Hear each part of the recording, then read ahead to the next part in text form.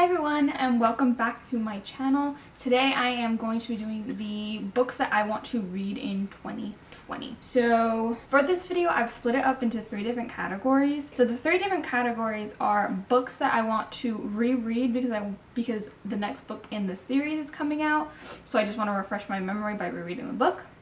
The second category is books that I have read um, the entire series or whatever it is and I want to annotate them. So I finished it, I know everything that happens, but I do want to go back and annotate them.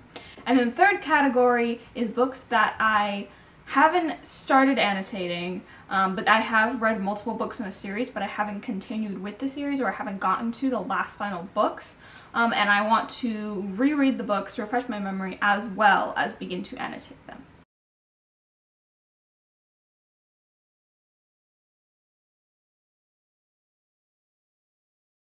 So the first book that I have in the I just want to reread the anticipation of the next book in the series is Aurora, I was going to say Aurora Burning, is Aurora Rising by Amie Kaufman and Jay Kristoff. Um, I read this, actually I think when I first started annotating, um, and I did like it. Um, I think I gave it four stars, four out of five stars, um, and I really did like it. Um, and I'm really excited to continue with the series. I mean, the next book is Aurora Burning, look at that cover. It's gorgeous. And it has my favorite character on it. So there's that. Um, but yeah, I'm really excited to continue with the series. Um, so yeah, I want to reread this before Aurora Burning comes out in May, I believe. That is the only book in the category of me wanting to reread a book in anticipation of a new release or of the next book in a series. So moving on to category two, books I'm rereading and I've read all of the books in the series, but I'm rereading them to annotate them. So the first book that I have is the Throne of Glass series by Sarah J Maas. Um, I read, I started reading this, gosh, I can't remember, sometime in high school. Um, I think maybe in 10th grade? Yeah, I think in 10th grade I started reading this and I fell in love. I really love them and I never annotated them and I know that these would be annotated ridiculously because I love them and there's so many like moments and things and funny lines that I would just love to annotate and tab um, as well as I love this book so I really want to revisit it and reread them. I love them. The next um, series that I want to reread is the series, one of the series that got me into reading and I love them and I've only ever read them once. And that is the the Mortal Instruments series. So the first book is City of Bones. Um, like I said I only ever read them once and I read them on my Kindle and I would really love to read them physically and annotate because I do love this series and it was one of the series that got me into reading. Um, so I would like to annotate it but I'm also curious to see if my thoughts have changed or developed in a different way because I was I think 12 when I first read these I honestly don't think my thoughts are going to change that much just because it's a sentimental thing and nostalgia so I feel like even if my thoughts do change I'll still give it a good rating um, but I do love all of her other books and other things continuing the Shadow Chron the Shadowhunter Chronicles so I'm just I just want to revisit the first thing that fell that made me fall in love with reading. The next book that I have is Illuminae by Amie Kaufman and Jay Kristoff. Yes, it's another Amie Kaufman and Jay Kristoff book.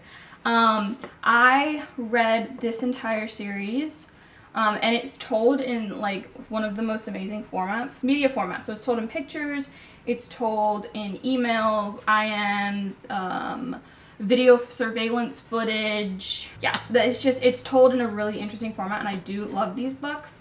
Um, but like I said, when I read them, I didn't annotate them.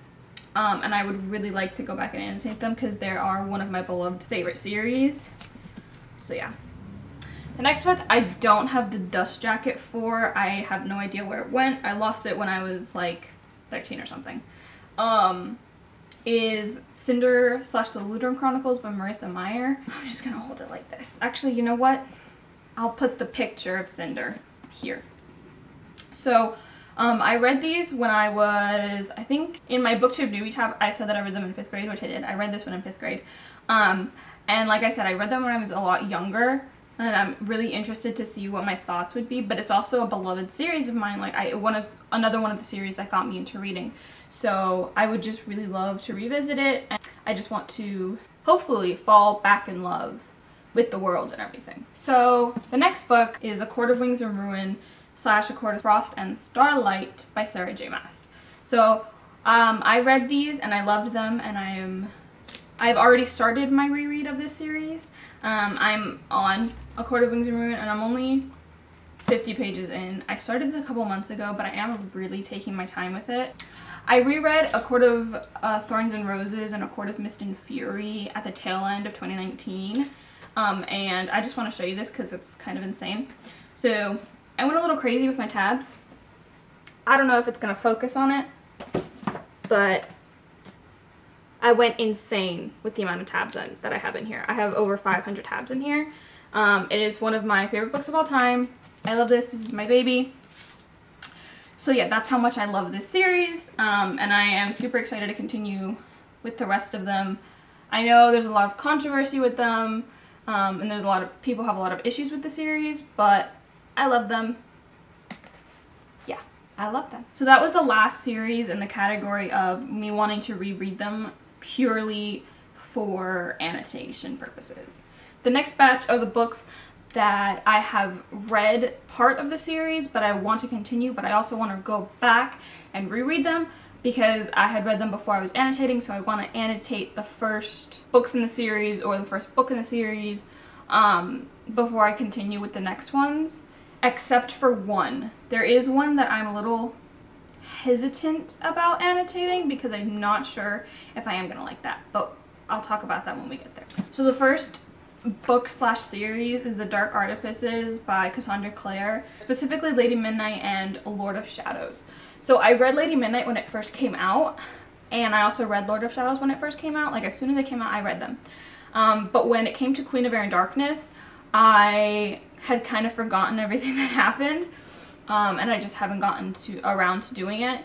I mean, they're behemoth books. These are bricks. You could kill somebody with this. And so it's more of like I'm intimidated because it's a huge book. But I do really want to reread Lady Midnight, then Lord of Shadows, and then continue on with Queen of Air and Darkness. Um, I am super excited to do that because I really do love it. I think I love this series more than I like the Mortal Instruments, but again, I haven't reread that in a long time my thoughts could change.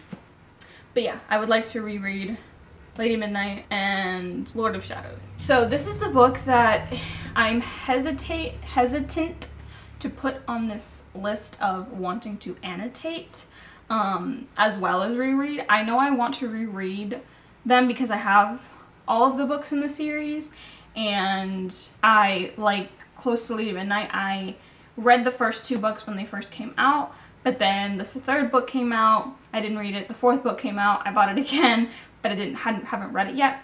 But I do want to go back and reread the first two books before um, I continue on with the series because to be honest, like I said, I don't remember what happened. Um, so let's not keep you in any more suspense. That series is the Red Queen series by Victoria Aveyard.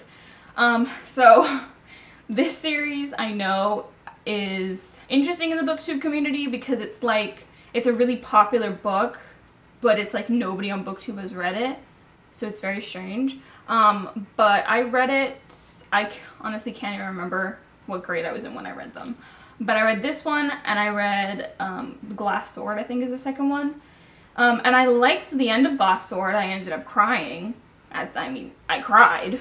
Um, but I just never continued on with the series. I don't really think there's a reason why, I just I just didn't. But I do have all of the books and I want to reread them, but here's here's why I'm hesitant to annotate.